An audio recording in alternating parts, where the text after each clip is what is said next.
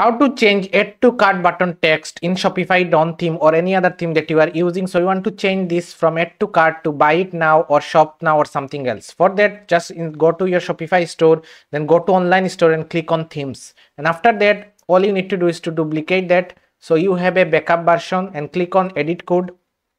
After that go to locales scroll down and find the json file for the language that you are using. If you are using any other language than english you will find a json file related to that like spanish like dutch and everything. In that case i am just opening the english json file. So click on en default json and then i will click on control f and i will search for add to cart.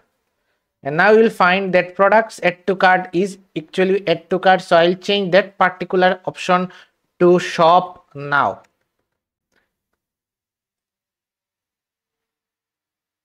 and if we scroll back and refresh the page now you can see our add to cart text has been changed to shop now button